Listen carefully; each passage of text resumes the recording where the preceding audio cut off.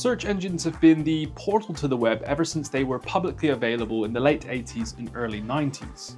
During this time, there was an ongoing battle to become the most used search engine in the world, which included the likes of AltaVista, Yahoo, Ask Jeeves, Lycos, and AOL.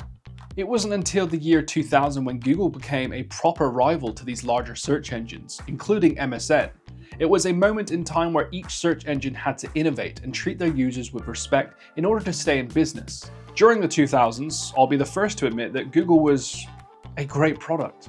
It felt like they really cared about the searcher, and although they had majority market share, they were still keeping an eye on competition, innovating, putting customer satisfaction first, and eventually built a fluid, somewhat unbiased, and somewhat anti-manipulative search engine that the world needed at the time. But between then and now, things have gotten out of control. It's clear that they have lost their way and have built a product that tracks your every move in order to extract as much data and money from their users. This once incredible doorway to the web has now become a monopolistic portal that is attempting to control you and your family. This is not the future of search engines at all. We here at Kagi believe the future of search should look a lot different, so I want to share with you my thoughts and opinions on the future of search. There's four categories I want to talk about in this video. The first being fluidity, the second security, third reliability, and last but not least, community. Let's jump in. You might be wondering what I mean by fluidity. The portal to the web should be seamless. The obtaining of information online is becoming more natural to do as the years go by.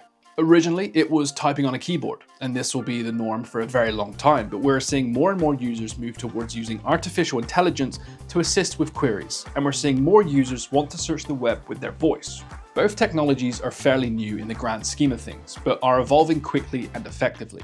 Search engines will become synonymous with your personal technology used daily and will eventually become like your assistant, learning about you and making the search for information as easy and as personal as possible via voice, text, and maybe one day, even your thoughts.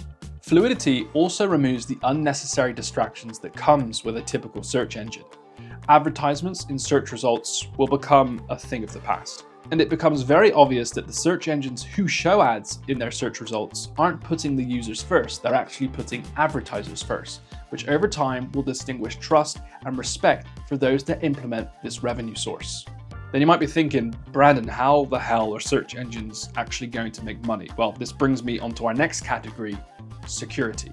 User data is one of the most valuable forms of information on the planet. It provides an immense amount of understanding and is typically used by search engines to craft a personal experience. It can be used for you or against you. Some search engines typically use your data to eventually manipulate you. This is done by altering your results to show advertisements, to use within their other products that take your money or time, or to be sold to third parties who will also try to manipulate you. It's estimated that Google actually makes 300 to $400 of profit from each user's data every year.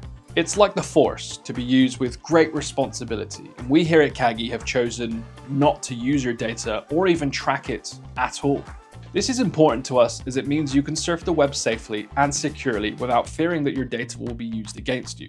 We believe your data is your own, and I believe the future of search engines will try its best to minimize or completely ignore user data, but that will need to come at a price. We allow you to customize Kagi in ways that don't require tracking, such as our lenses, where you can choose an array of websites that acts as a niche search, only showing results from those chosen websites, alongside the ability to lower and raise the ranking power of websites in our algorithms with a simple press. Heck, we even allow you to block sites completely that may be written by AI robots, they might be spammy, or just show a bunch of intrusive ads.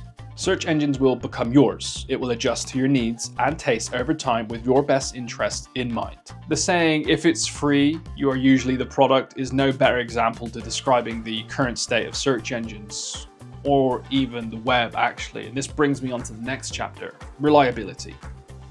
This is one of the most important aspects of any search engine. The quality of the results and the reliability of how the results are presented will alter the way we search and how information is consumed online. There will be no place for search engines that are biased to advertisers or media companies. The top results shown should be the most accurate to the search query, nothing else. There should be no bias no manipulation. The search engine should be providing you with the quickest result and answer to your query. And actually, if we think about it deeper on a deeper level, a you should be spending very little time on a search engine. If you are continuously trying to find something and find information, the search engine is doing a very poor job at doing that. It should be a simple one query ask and a one result answer. The information the user seeks should be somewhat instantaneous, highly trusted, and if used in an AI summary should also reward the copyright owner. And this is incredibly important and again brings me on to our final chapter of community. What I am seeing right now, and it's actually incredibly sad, I'm seeing the decimation of the creator economy because of the overuse of AI and the very disrespectful regulation and partnerships with the copyright owner and the creator of the information. One of the large factors is that AI products are taking information from websites and preventing that website from receiving visitors from that information, removing all financial incentive to create more content, which will eventually mean that AI will have very little new content to train on in the future if creators aren't creating. And I believe future search engines, and maybe not so much in the future because we here at Kagi want to do this and we're working on it to make it a part of our product. I believe future search engines will actually pay the creators and the copyright owners of the content that they use in AI summaries.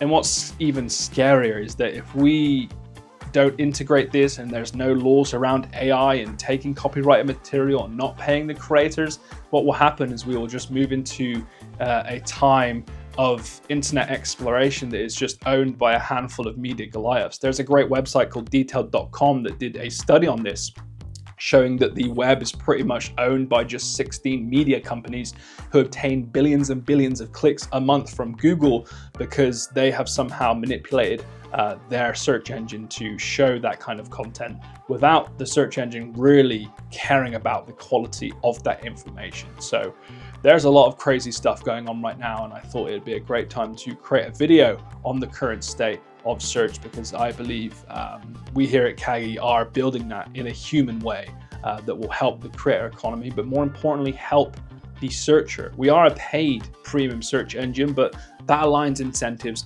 That's like our virtual handshake. And at the end of the day, if we aren't pleasing our customers, we're going to go out of business. So it's in our best interest to create the best search engine possible to stay in business and to give searchers, kids, families, students, business people the best search engine possible to assist with your day-to-day -day lives and not you know manipulate you not track your data not show you brain rot clickbait content it's uh it's a good product we're building. I know I'm a little bit biased. You can try us out for free. There's an array of packages for families, teams, individuals.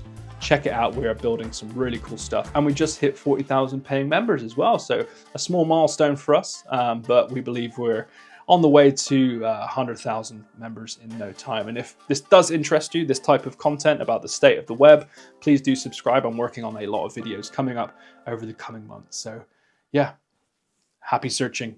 Bye-bye.